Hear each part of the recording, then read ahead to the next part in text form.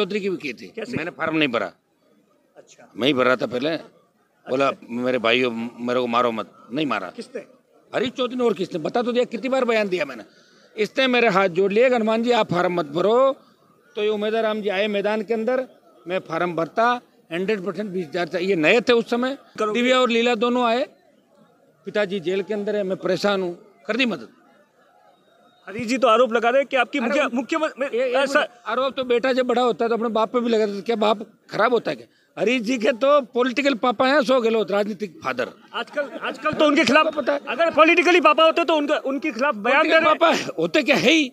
आप drawing room bedroom से लेके अभी मुझे कोई कह ले कि आप स्कूल कॉलेज में कहाँ पढ़े तो जहाँ से मैं पढ़ा हूँ तो बताना ही पड़ेगा। कब मैं प्रेसिडेंट रहा कब एमएलए रहा? मैं कहता हूँ मैं रहा ही नहीं रहा था अब मैं क्या हूँ? अब हेमाराम जी की मदद की नहीं करी रैली उनके खिलाफ। भाषण देके गया था ना। ऐसे तो मुझे तो लग रहा है भाजपा में जाना चाहते हैं क्योंकि पंजाब चुनाव से जो वसूली करी थी लोगों ने पंजाब से इनके ससुराल वालों को ईडी ने पूछताछ के लिए ईडी के उस पर टारगेट पे। अच्छा ऐसी आपके पास जानकारी? है जब भी तो बोल रहा हूँ ना मेरे पास तो पूरी जानकारी है। हाँ। बताऊँगा नहीं सारी। वो खुद तो मना कर रहे हैं हमारे इंटरव्यू में दस बार मैंने मना करते हैं मना करने के बाद घुस जाते हैं। मैंने कई नेताओं को देखा बजरी मामले को लेकर आप देखिए किस तरीके से हनुमान बेनीवाल और प्रशासन के बीच में ठनी हो गई है। हनुमान बेनीवाल यहीं पर जम गए हैं और सीधे तौर पर ऐलान किया है जब तक बजरी की दरें कम नहीं होगी और अपने भाषण के दौरान तमाम विधायकों से लेकर और मंत्री और मुख्यमंत्री पर निशाना साधा। हनुमान जी हमारे साथ में हैं हम बातचीत करेंगे। हनुमान जी आपके कार्यकर्ता पिछले पंचानवे दिनों से भूख हड़ताल पर कुछ कार्यकर्ता थे हॉस्पिटल पर पहुँच गए थे आठ दिन तक। क्या लगता है तो पिछले पंद्रह साल से राजस्थान में लड़ कौन रहा हमारे अलावा? मैं तो खुद जब तेरह में विधायक बना था तो बयालीस दिन ठंड के अंदर वसुंधरा ने मेरे वहाँ जो बिजली के छापे मारे झूठे किसानों को परेशान किया। बयालीस दिन में खुद बैठा रहता। इन्होंने मेरा ही रिकॉर्ड तोड़ दिया। ये पचानवे दिन बैठे। अब मैं इनको मनाने आया हूँ और मैं प्रयास करूँगा कि जो भी इनकी मांगे है वो सरकार माने। क्यों नहीं मान रही ढंग से माने तो ठीक नहीं? नहीं तो दूसरे ढंग से मनाएँगे। क्यों नहीं? किसका दबाव है? दबाव बजरी माफिया पैसा देता है ना। कैसे? अरे सारा कैसे क्या होता है? आपका जैसे चैनल चलता है तो पैसे चलता है कैसे चलता है? हर व्यक्ति अब हम चुनाव लड़ते हैं तो चुनाव में पैसा खर्च होता है कि नहीं होता? तो कई लोग ज़्यादा लोग भी लालची हो जाते हैं।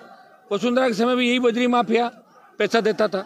और यही बजरी माफिया गहलोत को पैसा दे रहा है। इसके करीबी लोग इसके खास हैं, लंच डिनर करते हैं।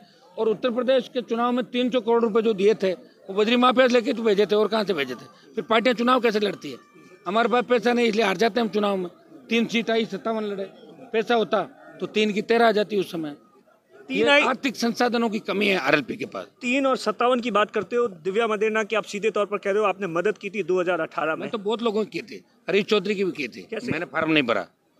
अच्छा। मैं ही भर रहा था पहले।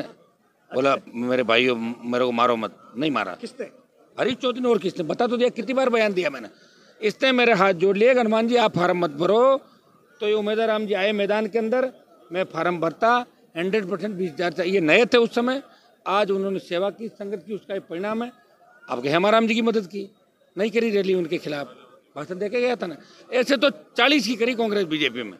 जो भी मेरे पास आ गया जिसने मदद मांगी उसकी मदद कर दी। तेईस में दिव्या और लीला दोनों आए। पिताजी जेल के अंदर है मैं परेशान हूँ। कर दी मदद।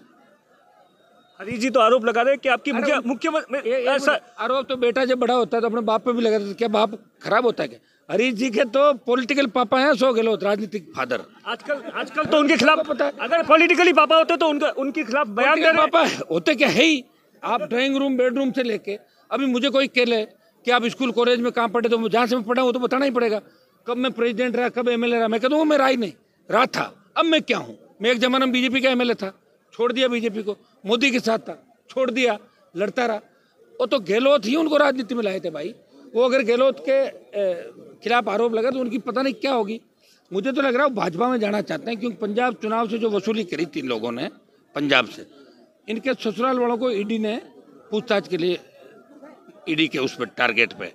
अच्छा ऐसी आपके पास जानकारी? है जब भी तो बोल रहा हूँ ना मेरे पास तो पूरी जानकारी है। हाँ। बताऊँगा नहीं सारी बातें ठीक है ना? अच्छा हनुमान जी जिस तरीके से ये भाजपा ज्वाइन करना चाहता है हरीश चौधरी। वो खुद तो मना कर रहे हैं हमारे इंटरव्यू में। दस बार मैंने मना करते हैं मना करने के बाद घुस जाते हैं।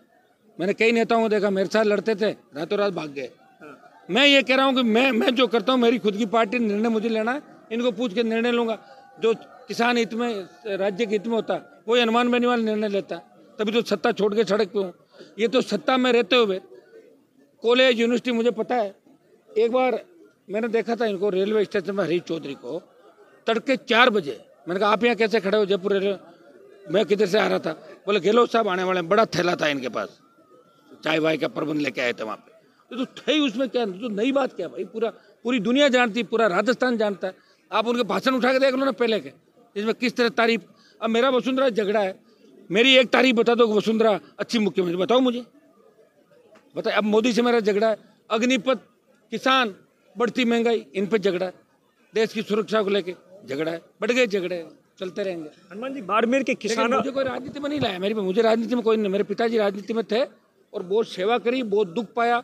इन तमाम मेरे समाज के बड़े नेताओं से मैं लड़ा। उन्होंने मेरे परिवार को उजाड़ने का प्रयास किया झूठे मुकदमों में फंसाया। तब हनुमान बेनीवाल बना। ऐसी थोड़ी कि एक रात में हनुमान बन गया। कितनी लड़ाई मैंने लड़ी। सत्ता को बार बार ठोकर मारी। सत्ता को ठोकर मार के और मैं निकला हूँ अपने लोगों के बीच उनको न्याय दिलाने के लिए।